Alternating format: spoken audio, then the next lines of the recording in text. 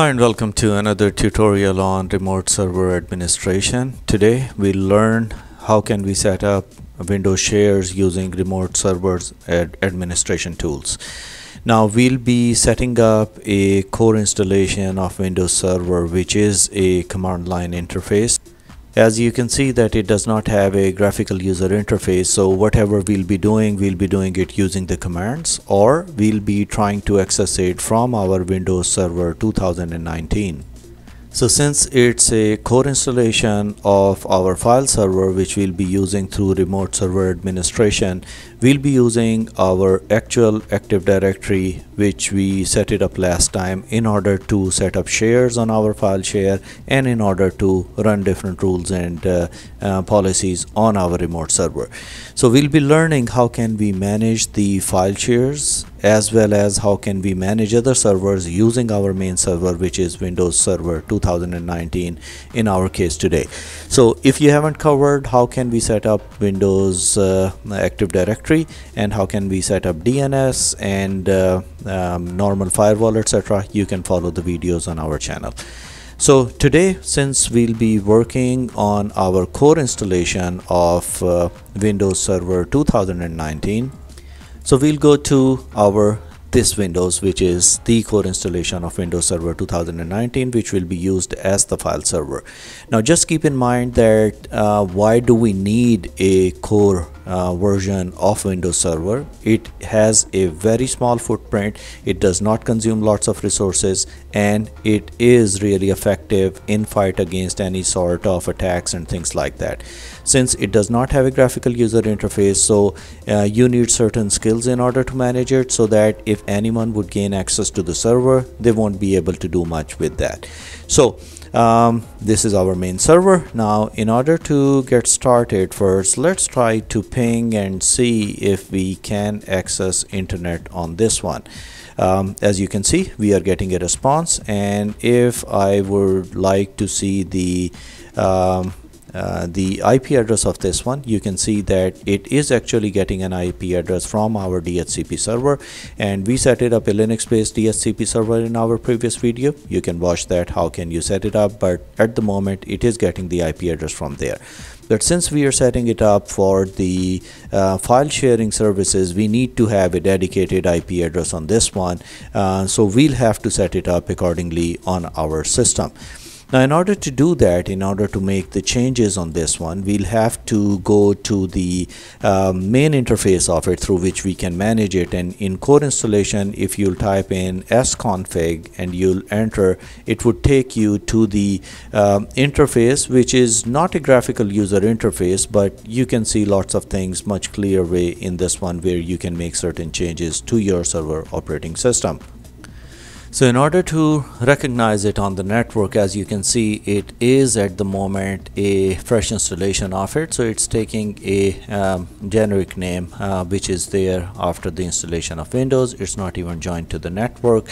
And uh, we have checked the IP address of it. So the first thing that we would do in this one is that we would like to change the name of this server. So in order to change that, um, you'll have to press 2 since it's on number 2 over here. So we'll press number 2 and press enter. It would ask you for the name of the computer so we'll call it uh, file share 01 and I'll name it as uh, with my first name and then press enter. It would ask you that would you like to restart the server? You'll press yes and it won't take much time. It would restart the server very fast as compared to the normal server installation since it's the core installation of server operating system as you can see it's back. I'll provide my just the password on this one. And uh, it would log into the same screen where we were we were working on sconfig um, if it won't show you you can just type in sconfig and it would take you to the same screen where we just changed the name of it now we'll have to join it to the domain. So um, eh, before we'll join it to the domain I would really need to change the IP address of this computer. So in order to change the IP address of this server you can see it on number 8 it is network settings so I'll press number 8 and it would show me the interface of it which is uh, a uh, dynamic uh, address which is acquired by DHCP so in order to change that I'll press 1 since it's appearing on number 1 and it would show me that uh, what would you like to change on this one. Um, so first of all I would try to have a static IP address on this one. So in order to do that I'll press 1 and uh, it would ask me that would you uh, like I would like to have a dynamic or a static IP address. Of course I'm defining it for the static IP address. I'll press S and enter and it would ask you for the IP address. So in my case I am entering the IP address as uh, uh, 10.0.5.8 press enter. Um, I'll have uh, the gateway as subnet mask as 255.255.255.0 um, enter the default gateway. Now how can you find the default gateway? So in order to check that we'll have to go to our either workstation or server operating system and check that which gateway is actually used over there so we are here on our workstation which is joined to the domain. I'll type in ipconfig slash all and it would give me the details of it that what is the IP address and rest of the details for our system. So as you can see that the default gateway is 10052 and our DNS server is 10056 DNS server is actually your active directory. So that's what we'll set it up on our file server. So since now we know the gateway we'll enter it 10.0.5.2 and it would just save the configuration over there. Now if I would like to change the D DNS server on it as well um, I can change that. As you can see that there is an option that set DNS server. I'll press number two and I'll enter the DNS server as uh, our active directory which is 10.0.5.6 um, and press enter. So now it would save that configuration as well it would press OK and then it's asking that if you need any other address. I said no and then I'll just um, return to the main menu.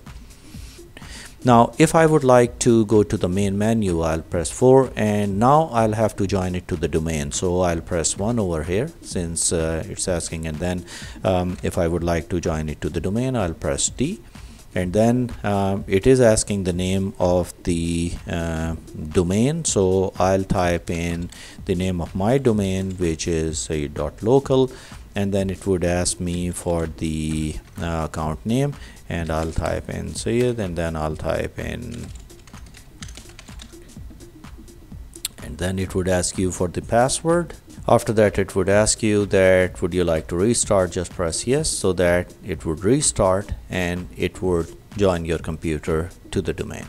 So it came back after the restart. You can see that it is joined to the domain. It has even changed the name of the computer and uh, rest of the things is fine. So that's all what we needed to do on um, the server. Now we'll go to our um, active domain controller and we'll try to control this server from there so now as you can see we are on our domain controller and we configured the domain last time and DNS on this one. Now today we'll see that how can we install remote server administration tool on that. Just keep in mind that it's a feature of Windows Server that we'll have to add. It's not a role. So if we'll click on manage and if you would like to add any roles and features, we'll select this thing as add roles and features and then we'll press next and after that it would ask you for the default settings. We'll go according to that. At the moment we have only one server over here. Um, we'll click next and it's asking for roles but we'll click on features over here so that we can add the features. Then you'll select on this remote server administration tools. Further you'll expand remote administration tools over here. You'll scroll it a little bit then we'll click on file services tools and we'll have to select file services uh, resource manager tools on this one. And then press next so that it can install it. Once that's done press close. And now we'll go to all servers over here. And since it's not added over here so we'll have to add the file server over here. So in order to add it we'll right click on all servers add server and then I'm going to type in fs and since it's part of the domain it should appear over here. You'll click on this one click on this button so that you have it over here. Press ok and it would be added to the list over here so that we can add it or manage it from our server 2019 which is our domain controller. Now once that's done once that's done we'll click on tools and we'll go to active directory users and computers. And as you can see that we are in our active directory users and computer and if you remember we created a organizational unit and we created certain subgroups in this one. Um, in the computers which are joined to the domain we have added it to the group. Um, in the users we had two accounts as Elise and Bob and uh, then in groups I created a security group over there called sales dash users and now what I would do is that since it's a security group I would like to add Elise to this one.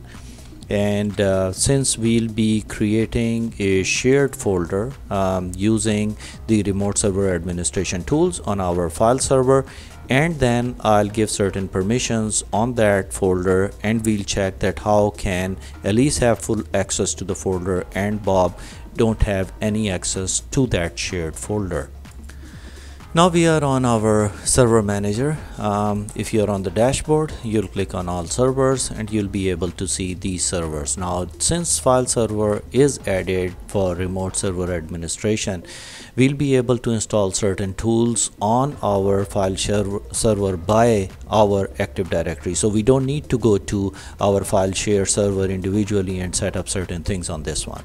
So in order to do that I'll right click on this one and I'll select uh, add server roles and features.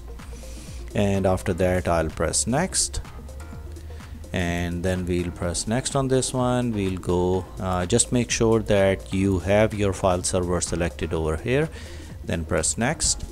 And here we'll have to click on file and storage services. And then we'll click on we'll click on file and iSCSI services. And then I'm going to select this manager from here. So I'll add that feature then I'll press next. And next to install it. Once that's done we'll close it.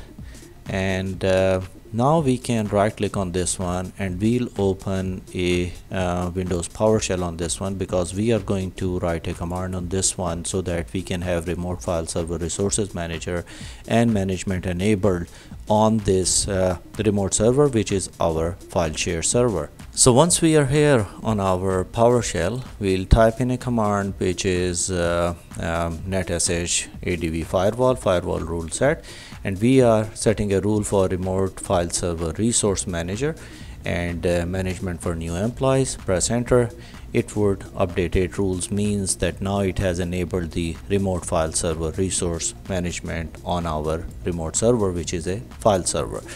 Now in order to check that we'll go to our local servers and uh, then we'll click on file and storage services. We'll uh, click on the servers on this one and then I'll right click on my file server and you'll be able to see this new file server resource manager which is appearing here now so if you click on it it would show you the quota and rest of the things which are allocated for the servers or you can allocate it from here now once that's done, we'll have to create a share on our file server so that only Elise will have full access as read and write over there whereas Bob will not be able to make any modifications to the files. Now here before we'll set up the shares on this one, there is a difference between a local permission and a share permission. A local permission is also called an NTFS permission uh, in which the permissions are applied only locally and not remotely on the operating system. It affects both the local files as well as the remote files whereas the share permissions are the permissions that are applied only remotely to the operating system and the shares etc so if both shared and local permissions are set then the most restrictive permission wins. That's the rule of thumb in uh, windows environment. So in order to create a share we'll click on shares over here and uh, we'll try to create a share on this one. So I'll right click and see share and then I'm going to um, share a folder or create the share. Now make sure that you're selecting the file share over here so that you are creating a shared folder on your share uh, which is a file share server. Uh, press next. And then it would ask you for the name of it. You can just name it as share. And here also you can verify that the name is appearing as file share press next. We'll keep the default options enabled. And here since we need to um, make the modifications where we have a security group we'll have to add it over here. And uh, if it's not here you'll click on share and then you'll add on this one.